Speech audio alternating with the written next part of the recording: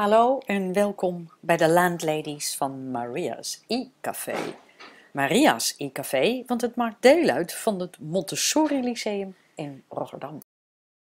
De Landladies zijn twee docenten Engels, namelijk Lucy Volkner en Annemiek Wegman. Als today's special hebben we vandaag de playlist Wees creatief op het menu. In het bijzonder maak een Powtoon cartoon. Instructies zijn te vinden op ons YouTube kanaal of op de Powtoon pagina op annemiekwegman.com. Een belangrijke reden om Powtoon te gebruiken is dat het ons dwingt om complexe zaken simpel voor te stellen. En leerlingen vinden het super. Powtoon kan makkelijk worden bewaard als YouTube filmpje, handig dus voor op de ELO. En je kunt leerlingen vragen een les te maken op Tijd dus om onmiddellijk aan de slag te gaan.